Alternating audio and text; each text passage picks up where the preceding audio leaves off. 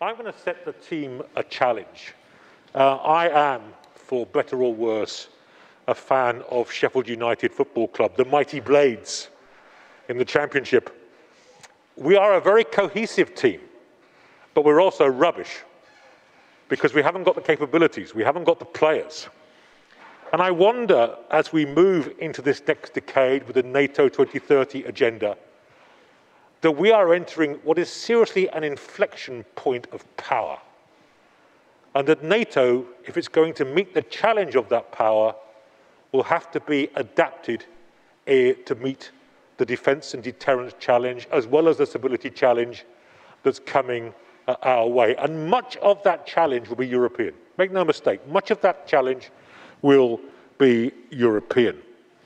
So I suppose my question that I'm posing implicitly is this. If defence and deterrence and NATO's commitment to the South are to be credible, what does the strategic concept have to do to ensure that NATO stays in the Premier League today, the coming decade, 2030 and beyond? Because decisions we make now will resonate into the 2030s. And as I said in a recent speech at NATO HQ, I think there's a good chance that the next 10 years could see 70 years of defense technological change crammed into it, the equivalent thereof. So this is going to be a very, very important strategic concept indeed. Now, to address the question of what is the future of NATO under this strategic concept, I have three extremely distinguished guests who are here on the platform with me right now, and one I hope is virtual presence. Uh, Braze is an old friend, Assistant Secretary General for Public Diplomacy uh, at NATO. You will all know here of this parish. Uh, Ambassador Tomasz uh, Szatkowski is the permanent rep representative of Poland for the North Atlantic Council, and Erik's appeared. Erik Brattberg has appeared uh, with us. He is the director of the Europe program uh, for the Carnegie Endowment for Peace. The way I'm going to play this is five minutes each for our speakers in the order of the program, but then I'm going to reach out to you. I want more interaction from the floor. Uh, two things to say on that. There are two microphones you can see at either end of the stage. If you have a question, come up to the microphones because we can't, for COVID reasons, hand around the microphone as in the past. And can I again draw your attention to the hashtag RigaConf20 21 if you have a question you wish to pose uh, through social media. So without further ado, five minutes, Baiba, please. Thank you very much. And uh, Riga, uh, good evening, everyone. First, my thank you to LATO, Latvian Transatlantic Organization, whom I helped to establish quite a long time ago and whose member number one I still am, and I'm very proud of that. I also thank the Latvian government, not only for supporting this conference, but we being among the exclusive club of 2% of, of, those spending 2% of defense and even more this year, uh, as is Poland and the other Baltic states. On the strategic concept and the very pointed questions that uh, you put to us, uh, Julian, uh, I think we all have to look really at the strategic level at that. This is not the annual communique or once in two years a communique, which says a lot at, you know, where allies politically uh, sort of decide that they are at that very moment. In the same time, when you look through the communiques of the year, you will see the accumulation of the change that NATO has gone through. You will see the really enormous change since 2010, where the previous strategic concept was adopted. So obviously that is what the next strategic con concept will attempt to do, which will be to capture the collective will of the allies based on the assessment, the common assessment of strategic environments, the threats, and decide where the adaptation of NATO as political military alliance should go to. So this is no doubt going to be a big discussion, a very important discussion, both on the political but also on the military side and it will deal with the core tasks that we have them now, which is currently the collective defense crisis management and cooperative security. Do they change? Whether they should change, if they change, how? There are several challenges, and the, the, what we know that uh, the big changes that have taken place, the biggest defense and deterrence uh, adjustment has taken place since the end of the Cold War. The uh, NATO allies, more than half of the NATO allies are present uh, in the northeast borders of the alliance to very physically ensure the, the uh, sort of collective nature of that will to deter to deter and defend if necessary. Uh, we have two new domains that have been included in all our uh, operations planning, thinking, exercising, which is space and, and cyber. We have new policies in place on emerging disruptive technologies, the artificial intelligence, uh, the autonomy, the quantums, the, the robotics. It's, it's all taking place as we speak. Of course, for the future, the decision making at the speed of relevance, both on the, on the political and military side, will be crucial. The readiness in, that is based on awareness. So again, investment in uh, ISR, in indications, warnings, in understanding this commonality of the threat and the ability to respond.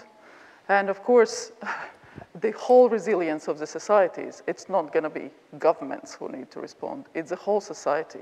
When we look at the private sector, we already know that most of the cyber attacks are responded to on the private sector side. They are the first that experience sometimes pretty brutal, brutal attacks. And they are tested day and every day. So the same with the, with the uh, civil society, with every one of us. So the resilience in that respect will be crucial, and that will, there is no one uh, sort of scenario that fits all, both in terms of the organization of resilience, in terms of, of uh, how we as societies uh, respond and how we as society as societies prepare. So in that respect, uh, indeed, the communality of values, the cooperation internationally with the partners, like-minded partners, whether it's understanding what China is doing. And of course, we know that China is a big discussion, and you have seen that the last communique has pretty strong language in that respect. That is a change from the previous communique. So um, we, we will uh, discuss, and we will adjust, and we will plan for the future. That is no doubt. And there are several, several elements in that. Thank you, Baiba. Wonderfully disciplined. I can see the, the headline in the press now, the new NATO whole of society strategic partnership. It's, uh, it's got a ring to it. Erik, five minutes, please. Well, thank you so much, Julian, and thank you for letting me be with you virtually from Washington.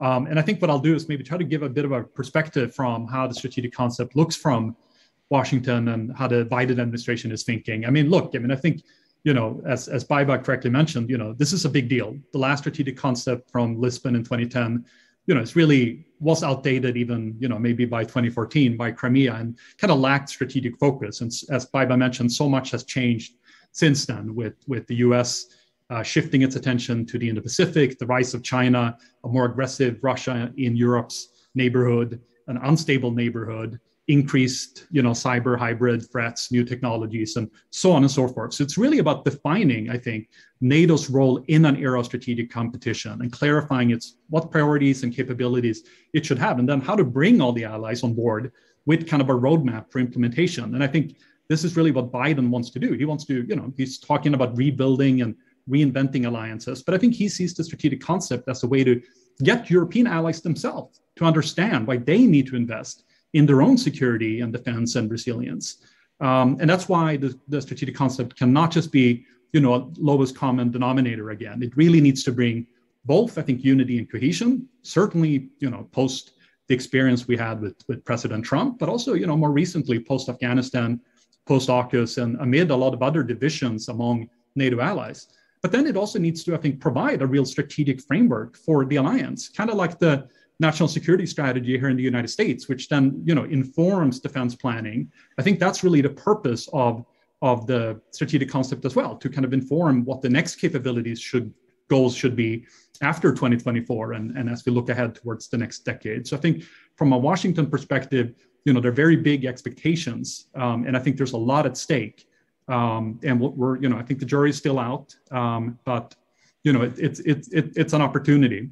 Um, and I'll come back. I have some other ideas in terms of what the challenges and priorities will be, but I'll happy to come back to that and, and, and hear what the other panelists have to say as well. Thank you. Thank you. Thank you, Erik. I, I, that's a very great way to put it, a sort of NATO security strategy. Because so many countries are producing national security strategies these days in which they do match assessment with capability. And it strikes me that this strategic concept, that's the test that it's essentially going to have to pass. Thomas. Thank you very much, Julian, and uh, really delighted to be to be here uh, in Riga. Always uh, happy to come. I have a lot of friends here, and if, even if it's at the price of an early flight, which I really hate. But it's, um, again, uh, uh, and kind of comfortable to speak uh, after such um, eloquent um, predecessors. And this allows me to pick on some of the themes.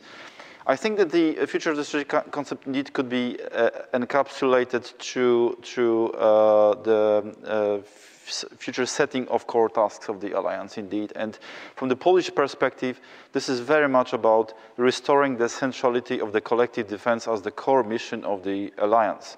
And uh, from that perspective, we should uh, not treat the, the current formulation of three core tasks as some, some sort of a dogma. After all, they've been um, adopted uh, in 2010 in a very peculiar geopolitical situation.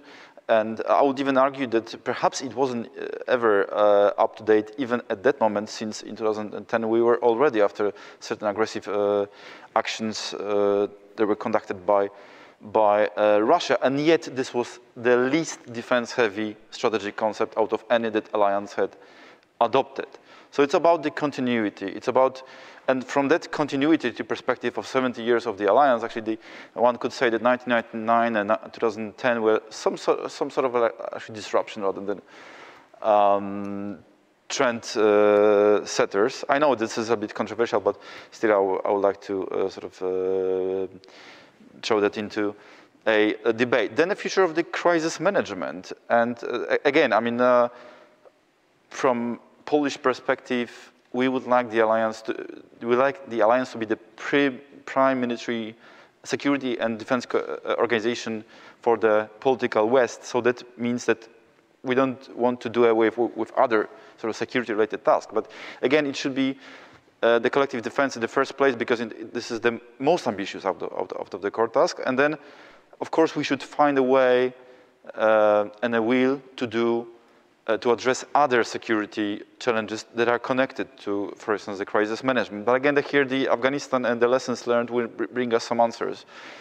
And uh, I think that we should be more realistic and pragmatic in addressing, uh, in addressing those kinds of uh, challenges, uh, sort of stabilization challenges. Uh, um, lastly, partnerships. Uh, I think we are in a, in, a, in a completely different environment. Just recall the, the wording on, uh, on, on Russia from the, from the last strategy concept. We need to take stock uh, of that. That doesn't mean that we should be closing doors to Russia, but again, I mean, we are in, in, a, in a, different environment. Also resilience, I mean, because yeah. perhaps, I mean, this should, I mean, one could have a debate whether, whether we should le have less core task or, or more, and, and resilience is, is a very important tool uh, connected to collective defense, but possibly also connected to other challenges coming from other ge geopolitical directions, like, for instance, China. And this is going to be, be, be another big debate in the context of this tragic uh, concept. Thank you, Thomas. Um, I'm going to open the floor now, but I just want to, to, to, to put a question into the air. All of this has got to happen in the context of the post-COVID economy. Um, and what I'm hearing is capabilities, capabilities, capabilities. Has to be paid for. So think about that and how are we going to, to achieve those ends given the economic reality. I'm going to invite first uh, an old uh, friend of mine, uh, Ian Brzezinski, to, to, to, ask a question. Are you going to ask a question, sir, as well? Followed by that gentleman behind. Ian, please come to this microphone here. Yep. Thank you, Julian. It's good to see some old friends. And uh, I guess since I just got off the, the, plane, I'm a little bit cranky. So let me ask so this question. You know, what is, why was NATO created? Uh, what's its primary mission? And its primary mission is to throw lead downrange. That's why it won the Cold War. That's why it was effective deterring war. That's why it's been operationally effective in Afghanistan. And that's what we want it to do. Uh, when I think about strategy documents from the United States, we have our national security strategy that Erik talked about. We also have our NDS, our national defense strategy. It strikes me that we really want the NATO strategic concept to really be akin to a national defense strategy by a national security strategy. Because when I look at the evolution of strategic concepts, they've become increasingly more and more like a smorgasbord of a variety of issues that kind of dilute the focus and attention on the core mission, throwing lead down range, developing warfighting cap capacities for whatever, high intensity warfare, counterterrorism, what, what be it, what be it. So I wanted to ask you all, will this strategic concept be different? Will it, should it be different and return back to that core focus on actual military warfighting skills and capabilities that need to be brought to bear and kind of stay away from things that really don't fall into NATO's domain. Thank you, Ian. You're always cranky, mate, so don't worry about it. Um, let me go in reverse order here. Thomas.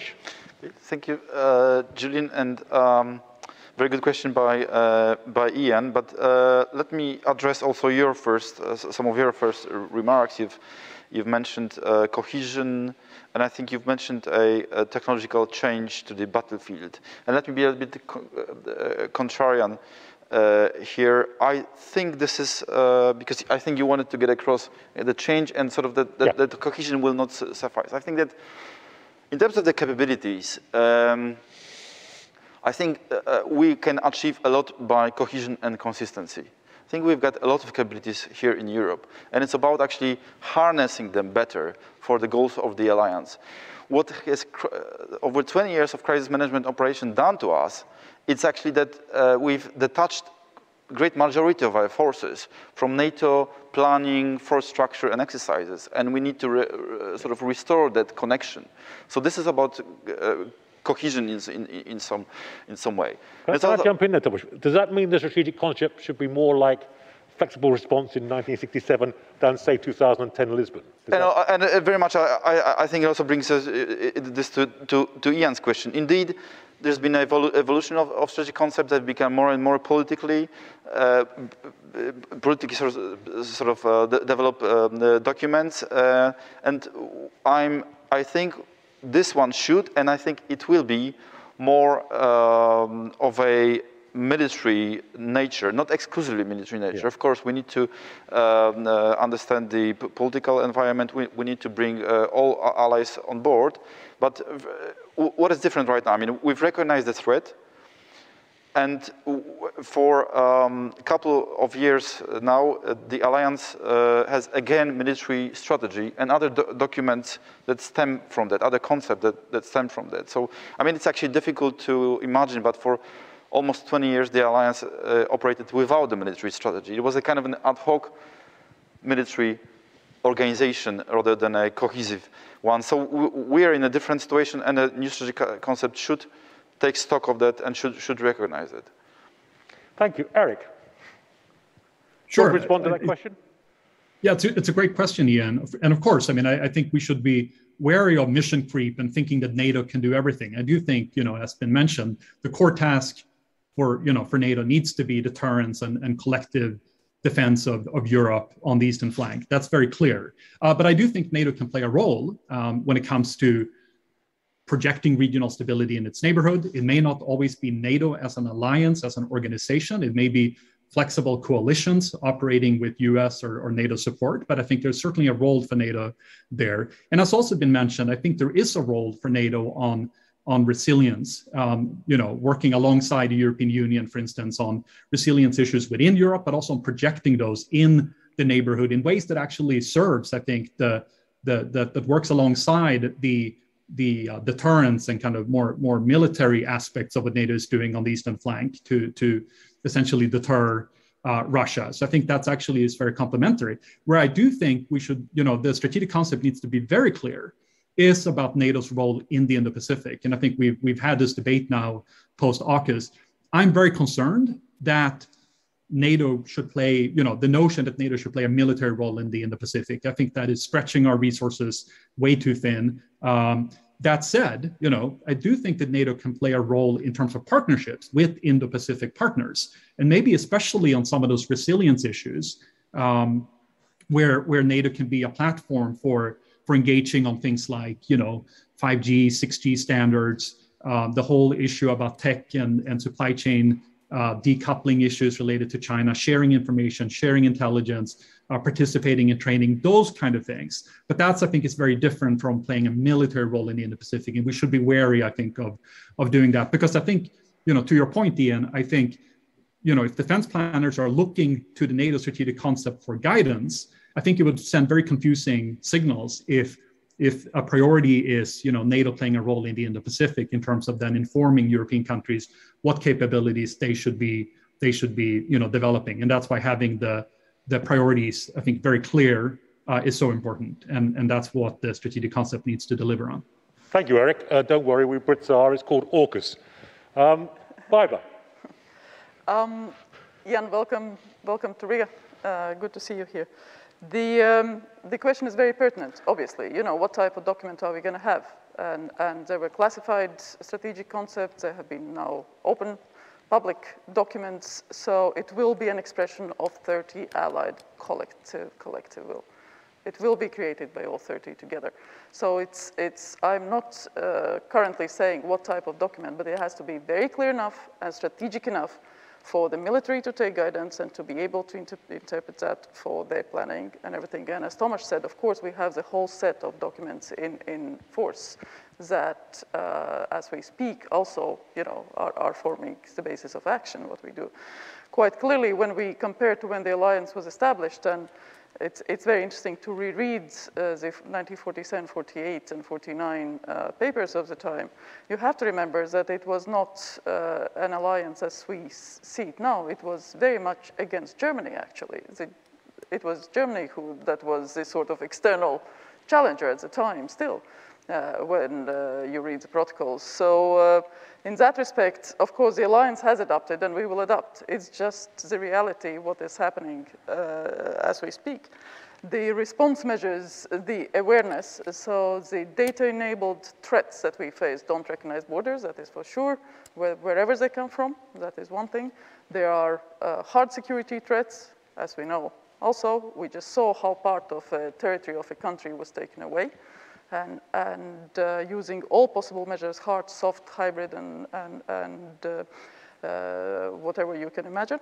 And uh, we will need to formulate those responses at 30 for our military, for our politicians, and for societies, because the response has to be and the ability to act at all levels. There is no just one response to that today, because there are threats that don't recognize borders anymore.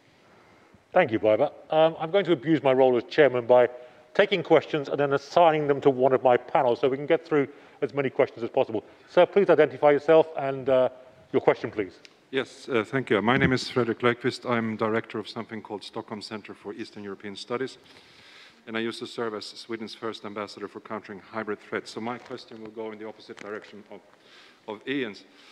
Uh, will there and should be there a, a special place for, for hybrid threats uh, in, in, in the um, strategic concept? And I will explain the question a little bit because cyber is often mentioned and cyber is often mentioned as a, its own domain. Not too long, please. Short, uh, yeah, short point, yep. But, but hybrid threats are composite and, and, and, and multifaceted. So will there be, and it's not only about resilience, it's also about situational awareness, connecting the dots, and deterrence for sub, uh, sub-threshold uh, threats uh, uh, non-military character. Will there be a place for that? And what's the division of labor between EU and NATO and the coordination, if there should be any, between the strategic concept and the strategic compass? Great question. Thank you very much. Thomas, you want to take that? Uh... I can try. Uh, well, uh, for, uh, when I speak about the when I speak about the hybrid threats, I think the first thing that comes to my mind is, is that there again that there's more continuity than, than, change. I mean, actually, coming from Poland again, I, in, in 1920s we used to have green men on, on our eastern borders. Mean, actually, we, we know Russian predilection towards information warfare already from, uh, I think, 17th uh, century. So, the, the, but just, I mean, technological reality may change, but certain concepts and approaches do not change that much. So this is, this is one. So this is also restoring uh, the alliance ability to operate throughout the continuum of peace, crisis, and war on a political and on a military level. This is, and, and, and I think new on a military level, we, we are actually getting that right. I think it's important to be able to get that right also on a, on a political uh, level. The second uh, uh, thing is the is is uh, resilience. Indeed, we we need to find way how to provide certain uh, benchmarks uh, and how to uh, how to sort of hold the allies ac accountable for, uh, for, for them. And indeed, it links us also to the NATO-EU question. Uh, I can agree with that EU has very unique instrumentarium, uh, and there needs to be a healthy dialogue. Poland is very much in favor of that, but I don't think this is really about functional or, or sort of uh, uh, division debate, or this is kind of on a, on a technocratic side. It's more about certain political uh, stumbling uh, blocks uh, between so some of the allies and, and, some of the member states, and they need to be solved uh, in order for us to proceed more smoothly and, and uh, cooperate more smoothly. Thank you. I mean, I'm getting the sense that this thing is going to be as long as the Encyclopedia Britannica. There's going to be a lot of issues inside the strategic concept. So I, I pity the poor drafters. Any brief comments from my other two colleagues before we move on? Um, just to say is that hybrid indeed had a place both in, in, in the communiques in the last few years, so it's very difficult to imagine that suddenly the allies would drop, yeah. Would drop the whole concept of hybrid. And when we think about it, yes, we can see that there are hybrid attacks without the hard sort of element in them also in the future, but it would be difficult to imagine a hard sort of action, a kinetic action without having a hybrid yeah, element indeed, in all of them. So it's there, absolutely. Just, we, absolutely. we, can't really separate that. In fact, early in the Brussels communique, it says that that previous language will be inserted in the strategic concept. Quickly, Erik, uh, a point? Yeah. No, just, just to weigh in, I mean, I, th I think this is an important point because I think in the, you know, this era of great power competition that we find ourselves in, especially facing authoritarian countries like Russia and China, you know, yes, there, there's a clear, at least when it comes to NATO from Russia, a clear military threat. But you know, we're constantly being being under you know attack from various types of non-military um, ways, and I think that's really important. that NATO, you know, plays a role there. I mean, you know, the the the, the challenges that China constitutes towards NATO um, is not military and probably won't be for a long time, but, but it is a serious threat. Um, it has to do with information security. It has to do with control of infrastructure, critical infrastructure, ports. Um, it has to do with you know, influence operations and disinformation, economic coercion. Um, maybe not all of these are areas that NATO traditionally deals with, but I do think NATO needs to play a role in addressing these issues alongside the EU, alongside other other players, other member states, um, because that's that's inevitable. You can't just you can't just uh, distinguish between military and non-military and just say that NATO is going to do the military. It needs to do it needs to look at this comprehensively, and hybrid is a big piece of that. Thank you. Uh, before we say too categorically about the Chinese, I've just written a big report for the European Parliament on the EU and Arctic security and there are certain developments going on Greenland research laboratories where there are some very strange looking Chinese scientists appearing in uh, parts of Greenland. So I think this could come quicker than we think. Uh, first, Ben Hodges, and then I have a question from, I hope, is a young person, anonymous from social media. Ben, please.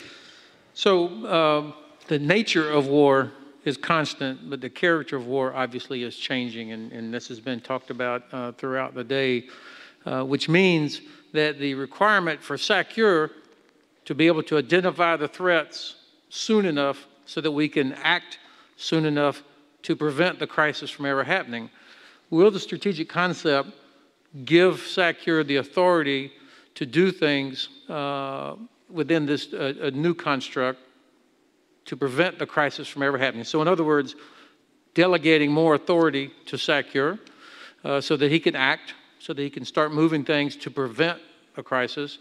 And in that same vein, how do we as an alliance based on collective security of its members, how do you get the initiative instead of always reacting to what the Kremlin does? How can we get the initiative um, without being seen as overly provocative by some, uh, some members of the alliance? Thank you, Ben. Uh, ben and I have just published with John Allen a new book for Oxford called uh, Future War and Defense of Europe which is brilliant and very reasonably priced on Amazon. Um, who wants to take that? That's a fairly, I mean, that issue of delegated authority, you know, one of the issues in the book is hyperwar. And hyperwar is an accelerated warfare where you, you can't go into the kind of formal procedures. you've got to have a, a very, very rapid response mechanism. And that strikes me as a crucial challenge for the alliance. Who wants to take Baiba? You want to take that one on first? Um, I will, I will, I will say a few words because yeah, obviously, uh, obviously, we all understand that is again in yeah. the in the data-enabled yeah. environment. That is the obvious question that comes to all of us. You know, what is the decision making at this age? What is the uh, sort of preemptive measures? What are the levels of, of delegations that, that are there? And not necessarily that has to be addressed in the strategic concept per se. It's a strategic level document. So there will be uh, the formulations that will allow the military to, to take uh, it further. But quite clearly, you know, speaking about the adaptation, it's not only the political adaptation, it's not only decision making, it's not only the joint intelligence sharing that we now have at NATO that has been, you know, escalated uh, after, after Ukraine to an unseen level. And, and this joint awareness and joint understanding of threats that we've been able to reach on everyday basis. Eh? But it's also really about the actual actions that then need to be taken. And, and again, it's not going to be formulated in so many words in the strategic concept, Ben, as you know, but uh, there will be, the Allies will reach a consensus on, on what we need. Indeed. For the I future. Mean, so I have no doubt, you know, when you look at NATO's future, this is what we do. This I mean, it's the already there in the deterrence concept and the warfighting concept. There are two other classified documents, as I understand it, that begin to address these issues, which I won't refer to. So this is going on already. There's a certain, uh, uh, NATO is aware of this challenge. Erik. I, think the only thing I'll, I'll, just add is, I mean, I think the, the, the, the question also raised the point of sort of reacting early and early warning um, and, and NATO's institutional and decision-making setup. And I think one thing there that can be approved, uh, improved, that I hope the strategic concept can at least contribute to, is making NATO also more of a platform for political dialogue, not just military dialogue, because I think that, you know, in order to act early, in order to be aware of emerging uh, challenges coming at NATO, we need to talk about that. And I think if there's anything that AUKUS and Afghanistan and these crises that have or I guess Afghanistan was a crisis, AUKUS was a diplomatic crisis, perhaps. But anyway, what they what they point to, I think, is sort of the lack of political dialogue in NATO as such, and I think that's something that needs to be strengthened and can maybe then help with sort of spotting the the, the threats coming and, and taking more early initiative, which NATO clearly needs to do. Um, and that's why that piece needs to be strengthened, and the strategic concept should at least contribute to to making that happen. Thank you, I, and I agree with Erik, but I don't think the strategic concept should say everything uh, comprehensive political guidance. There's a whole host of other sub-documents that will come out of it. I mean, it, it begs a fundamental question. Who is the audience of a strategic concept? What is it for? And I think the alliance has to be very clear. The NAC has to be clear about what it's for and who is the audience as, as we move forward. Baiba, you want to come back briefly, then I'll just, move to Thomas. Just a quick two-finger. I think we clearly have to understand that the nature of deterrence is, is changing. It yeah. includes, yes, nuclear, it includes, you know, conventional, it includes integrated air missile defense in that respect, where we, you know, there is a whole new development there. Yeah. It, invo it involves the whole society approach. It involves the ability of the whole society to withstand and resist crisis, resist Absolutely. anything. So in that respect, you know, there is, there is a, a big change happening in all our societies, yes. Yeah, absolutely right. You know, this whole hybrid warfare, cyber warfare, hyper warfare continuum that is the continuum of deterrence as well. Thomas. Well, on, on pre-delegated uh, authorities? Yeah. Well, uh, uh, uh absolutely on this side of the, of the debate, uh, uh, the current strategic environment requires us act to act in a more agile way. We need to have prepared plans on the shelf, sort of a, um, a crisis reaction measures that are, that are, that are prepared uh, of course, NAC needs to retain some political control, but it doesn't mean that we, we have to follow the current model, which is very much sort of crisis management geared, with a long, cumbersome process, and very much ad hoc based, yeah. I mean, uh, as a result of that lack of military strategy for many years. So we need to adapt for that. Indeed, there'll be pressure to retain political control, but it doesn't, I mean, it, it just cannot uh, be the stumbling uh, block for uh, execution of, uh, of our reaction. Otherwise, we will uh, a lot will, will, will, just happen on, on national basis. And if allies want to, want to sort of cohere over, over our reaction to, uh, uh, to the threat, we need to give more flexibility to the SACEUR. And then sort of debate it, work it through within the NAC. I mean, uh, sort of prior, prior to, the, to the reaction through plans, through, through concepts and doctrines. I mean, it strikes me that, that the, the agility of future decision making will be a key component in credible deterrence. If we haven't got it, deterrence itself is undermined as a, as a communication to an adversary. But you're absolutely right. So bear with me for a second. I have a question on, uh, on the social media that I want, to, I want to get going. The question is, the Biden-Macron joint statement finds the US as complementary to the EU. How does the panel see the new strategic concept addressing the EU-NATO relationship? Well, I'm going to go to, to Erik for that first. How does the Biden administration see it? It's a great question. And I think this is something that the strategic concept needs to deliver on. It's actually clarifying this kind of age old question about what is the European pillar in NATO? What does it actually mean?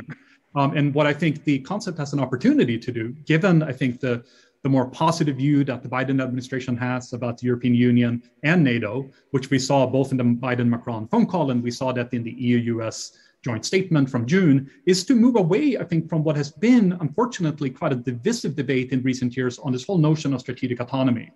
And maybe focusing less on these abstract concepts and have the strategic concept come out and actually endorse EU defense initiatives and acknowledge that they play an important role um, and, and, an important complementary and compatible role to NATO.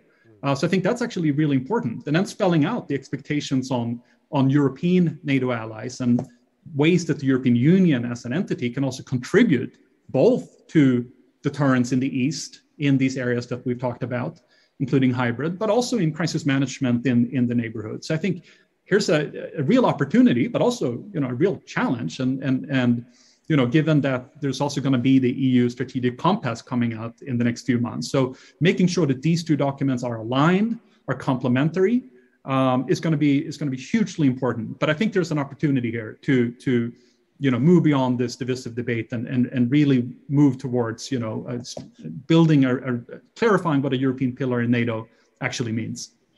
That's a good point, Erik. But I, I go back if if we are to make a NATO EU relationship strategic it's got to be built on capabilities.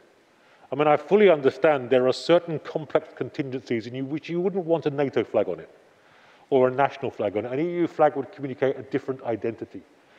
And I wonder, and I'll put this to my, my, my two colleagues here on the stage, whether we can finally get some kind of Berlin plus type arrangements properly working. Thomas, you want to take that first? Well, I, I think, you know, functionally, again, there's not really a problem to find a, very, a good solution for, good formula for NATO EU to, to, to cooperate, to, to, to, divide labor. Problem is really uh, among, uh, I mean, the problem lies within certain differences between some of the allies and some of the member states yeah. of, the, of the EU. And once that is solved, and I think, think we should really pay, it, I mean, sort of direct our efforts towards that rather than for finding new formulas that, that would allow us to go uh, around that. Because, and not really uh, fall for the trap of the debate on strategic autonomy or European army. I think that what's below those words, I mean, actually, what different actors have in mind is actually much closer when we actually talk to the French, to the, to, to Germans, to the US, it's really uh, indeed much more about capabilities than about creating sort of a parallel decision making uh, and command uh, structure. I would also be worried about giving too much uh, sort of work on that to bureaucracies. I mean, bureaucracies tend to be yeah. sort of, you know, steer themselves towards the institutional interest once we uh, have a healthy debate among member states and allies, I think we can end up in a, in a, in a rather healthy uh, spot. Thank you. Baiba? Um, I think that we quite clearly have recognized the US strategic partner for NATO. Yeah. That, that strategic yeah. partnership is recognized by everyone. That is uh, what we do on the basis of that. The cooperation that we have is just excellent. The unprecedented levels of exchange of information, uh, daily, weekly meetings, exchanges, there's, you know, there's a very rich, very yeah. practical cooperation. So I would disagree with those that try to spin some type of, you know, disagreements and, you know, buff up uh, certain, you know, total differences among the organizations. Uh, they are not really there. They are of course, the nuances and how allies or how certain countries perceive each other, that is a different thing. But again, as among you know, organizations to, to ensure that there is a very practical collaboration to, to resist the external threats that we recognize on both sides that uh, there exist. Um, it, it just, we are going ahead with that. It's just, it's just working. So um, also in my field in strategic communications, it's just everyday collaboration. Yeah, but it does, uh, I'll come back to you in a second, I'm sure. But it does strike me that a strategic partnership is a two-way thing. And given the importance of NATO planning functions, harmonization of planning will be vital. But also, given that 80% of, of capabilities are now outside the EU, then surely the EU's third country arrangements need to change as well. Because the idea that major powers like uh, the UK or Turkey or, or anybody else, the US and Canada have signed up to military mobility, do not have a say over an EU operation, effectively denies the EU that access. So I think there's a whole range of questions that are indeed still outstanding. Thomas. Yeah, just, just one uh, additional sentence. I, I, I would like to say that indeed there is some risk in this concept of kind of US EU security or defense cooperation. Yeah. To us, indeed, this is NATO, which should be the platform to engage uh, Euro-Atlantic uh, allies over security and, and, and defense. And of course, there is a complementary role for the EU in that. But just that. Thank you. Sir, and who are you and what is your question? But, but oh, sorry, sorry. Just one more. You're, you're totally right, of course, investment in capabilities, and that was the same what the Prime Minister said. It's really the capabilities yeah. that matter at the end, so we need to have those, and it's secondary, you know. It's a sine qua non of all of this, yeah. If I, if I, may come in quickly on that point, if I may, yeah. on, on EU-US defense cooperation, it's a topic that I follow, and I think it's actually you know, I don't see it as necessarily a bad thing for NATO. I actually think there are good reasons for, given that the EU is becoming a stronger security defense actor on its own, new initiatives like PESCO, European Defense Fund, so on and so forth. Um, I think it's a good idea to have the EU as an institution talk more to Washington, including the Defense Department, which they traditionally haven't. And I think it's been positive to see the Biden administration joining PESCO, participating, you know, and I think there's more that, you know, could be could be discussed in this context of US and the EU, that doesn't really, you know, I think it's very complementary yeah. to, to, to NATO's roles. I don't see that as problematic. It's a vital issue. Absolutely right. Sir, who are you and what is your question? Uh, this is Shota Gvineria from Baltic Defense College. And uh, Mr. Lindley French, I hope you remember two years ago we shared a panel organized by NDU. We did, indeed. And it's the face mask. Title, and the title of that uh, panel was Uh, contested territories between Russia and NATO, and we both heavily criticized that topic. So there are two components to what NATO has to be doing. One is defending its own territory, and the second is projecting security and stability outside the Allied territory, right? So in this context, there has been 13 years since the Bucharest summit decision where Georgia and Ukraine were promised to become part of NATO, and there has been literally zero progress on this political integration path. Of course, there is a lot of cooperation, but on the integration path, there is no progress whatsoever. So does 2022 document somehow have a clear vision on the future of this in-between territories uh, from NATO and uh, uh, actually, it is obvious that Russia will continue treating this in-between territories as, as, its sphere of exclusive influence. We have suffered two wars since the Bucharest summit decision, so there has to be a unified vision by NATO and all the allies on the future of that uh, area. So if Thank you have any comments on that. Great question, and great to see you again. I suppose that boils down to, is the open door still open? Who wants to lead off? On, Baiba, you want to lead off on, on that? Um, that is very obvious. The open door policy is in force and it's not going to change. And it was reaffirmed in the communique just a few months ago in the, in the summit. And I, the last thing I would like to Georgia identify itself on is the contested territory. Georgia is a sovereign country, a European sovereign country with strong democratic institutions that need to be still strengthened. And it's doing great reforms, proud people, excellent excellent country with rich culture and bright future. So, you know, the last thing that, that needs is to, to actually diminish uh, that in respect. As for the as for the joining of NATO and whether you know there is a consensus among the allies for admitting admitting the next group of aspirants, that is that is a different question. It requires both the aspirant to be ready and for NATO to be ready, and the open door policy is and will remain in force. Thomas. Well, uh, Poland stays uh, clearly behind 2008 Bucharest summit decision that Ukraine and Georgia will become uh, NATO uh, allies.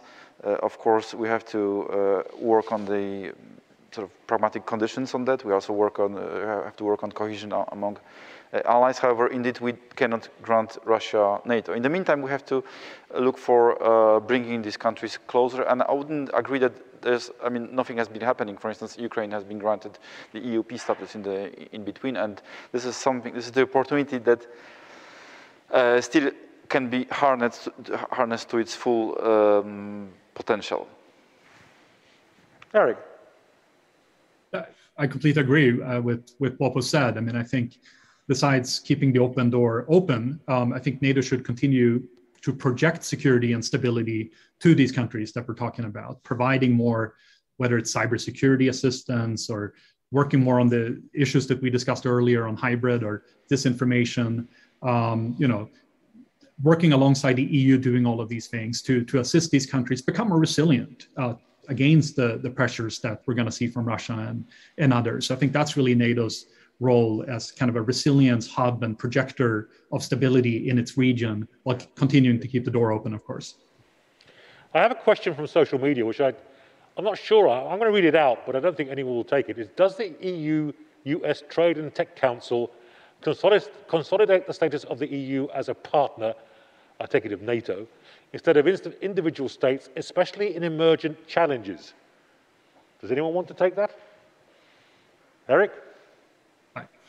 Not sure I fully understand the question. I think no, the, I the Transatlantic Trade and Technology Council is potentially important. We just had the first uh, leaders meeting in September. There was some progress, I think, especially on the kind of defensive technology issues like export control, FDI screening, uh, but there's a need to do more. Um, I think this is a positive thing because if you read a statement from the TTC, without saying so, it essentially deals with the technological challenges we're facing from China. And I think it's important to have this, um, you know, link between the U.S. and the EU. And I think for NATO, that's good news. And I think it recognizes that, you know, um, on a lot of these these regulatory issues, you know, it's not really NATO uh, that's the key actor in Europe. It's the EU. So having the U.S. and the EU deal more with some of these issues on on technology and digital issues, including dealing with disinformation and regulating social media platforms, um, you know, I think is good for NATO. And I don't think that detracts from, from NATO's role as the kind of bedrock of, of transatlantic security. On the contrary. Thank you. I'm, I'm not going to go further with that question unless there's someone. Baiba, you want to jump in there? Just to say at a personal level that uh, uh, indeed the partnership that is based on values is, is very valuable. And what we see there, it deals with supply chains, it deals with data tech governance, it deals with AI, it deals with a whole set of issues that we are also dealing with in NATO. So as larger the community on, on, on the basis of what we can work together in terms of, you know, uh, achieving the same uh, if not the same, but similar outcomes in terms of what we want for our security, defense, and our societies, and, and having those partnerships, uh, be it EU, US, or be it with the uh, AP4 partners or, or Georgia, Ukraine, it's, you know, it's, it's good for all of us. I mean, I would add to that that what that question hints at is a much bigger question, which is if we are to invest in the technology of future war, which is artificial intelligence, machine learning, big data analytics, uh, drone swarms, uh, nanotechnologies. I find it hard to see how that could happen without many current export controls on both sides of the Atlantic being removed. Because there's going to have to be a much more fluid transatlantic tech exchange mm. to underpin that growth. Because I can't see the European defense and technological industrial base producing this stuff and I think the US is going to have to be willing to share black box technologies with allies that in the past it's been uncomfortable about. If, if they want the alliance to be a useful ally, and that's going to be a question for the US. Now, we have 10 minutes left. I want to finish off in reverse order. Sorry, uh, Alan, a bit late, mate. Um, by asking you a direct question, all of you. what will NATO look like in 2030? Just how different will NATO be in 2030 compared with 2021? I'll start off with Erik. Ooh, that's that's an easy question. It's still only morning here, and I've only had one cup of coffee. But um, look, I mean, I think to me, there, there are a lot of things that will probably be different. But to me, one of the things that really needs to be different and where the strategic concept can help us get there is to really make sort of NATO more European, to have this, you know, we talked about a European pillar in NATO. I think we really need that. I mean, the US, I'm sitting in Washington. The debate here is all about China and the Indo Pacific. I think the strategic shift to the Indo Pacific will inform strategic attention, will inform resources that the US allocates um, away from the Middle East, as we've seen with Afghanistan and elsewhere, and away from Europe. I don't think that means, and I think we, it would be a mistake to draw the conclusion that it means that the US will disengage from Europe or you know, abandon European security. I don't think so. On the contrary, in an age of strategic competition, I think you know, having Europe remain a stable, democratic ally is very important for the United States. But it does mean that I think Europe will have to take more responsibility. And I think there's greater US expectations that Europeans will do so, not only on managing instability in, in, in, in you know, the European South, but also, frankly, on contributing to deterrence on the eastern flank. So a NATO that is has, has a greater European leadership role, and that puts you know the onus on the big three: UK, France, Germany. I think it also puts a, a, burden on smaller member states to also contribute and and and and you know shaping this this European uh, pillar within NATO with U.S. support and with U.S. encouragement. And that's how I think we reconcile this age-old debate uh, and put it to rest. It's a stronger, more capable, more resilient Europe anchored in the transatlantic alliance. And I think that's frankly something that you know everyone around the table should be able to agree on at this point. Thank you, Erik. Strategic autonomy is a function of power, not words. I couldn't agree more. Thomas. Well, uh, let me uh, tackle uh, sort of more of the defense side of it. I, I think we, will need to restore the capacity for the alliance to be able to tackle large-scale threats coming from uh, state actors.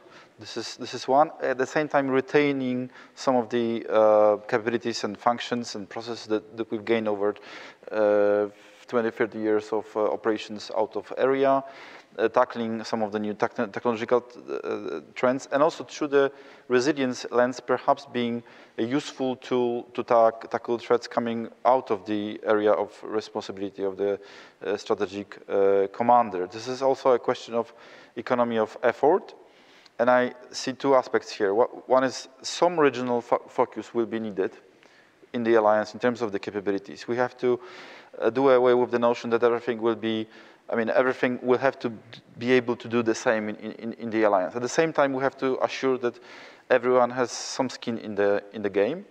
This, that also pertains to the to possible engagement in uh, Asia Pacific.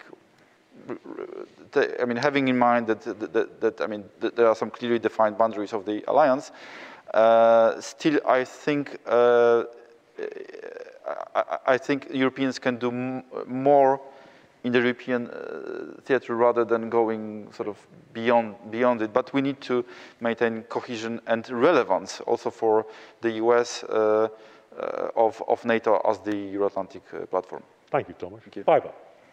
It will continue to be a strong alliance, political military alliance of 30 or more allies that is able both to deter against a whole range of threats from nuclear to hybrid and also to defend if necessary, and it will have adapted to the new age uh, that we all have entered.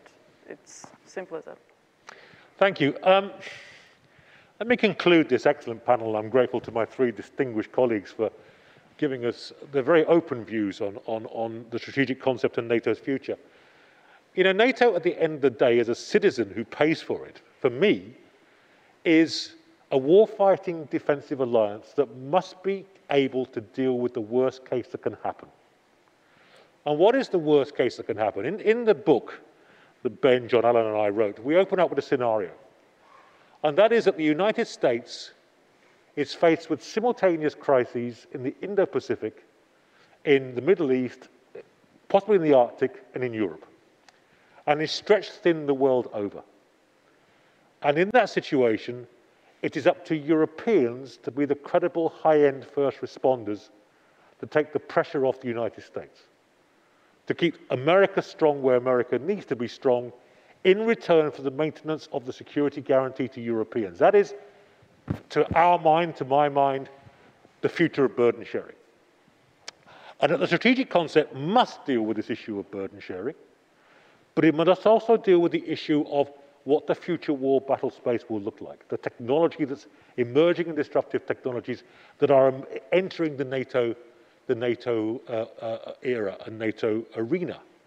Now, at the core of that, I can see no real way around something that looks like what we call an Allied Command Europe heavy mobile force that is able to operate across air, sea, land, cyberspace, information, and knowledge by 2030.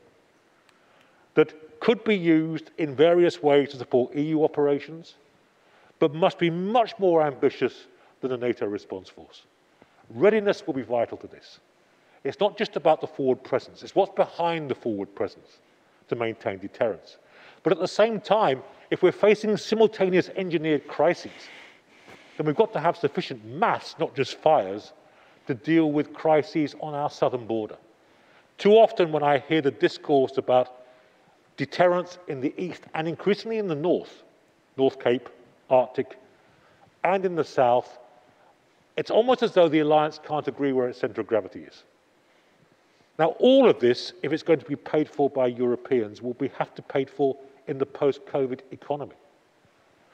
We're not going to go down the route of European defence integration. Forget all the, the, the, the, talk of that. We're still a long way from having the kind of governance which would enable that. But my final thought, and any quick response welcome, do we Europeans realise the implications of change that you've been talking about for them? Or, or is there a certain degree of denial amongst the European body politic about what will be re required from we Europeans to make this work. Very quick final thoughts. Ivan. Well, actually, Tom should speak for Europeans. I'll speak for NATO. All right, Tom?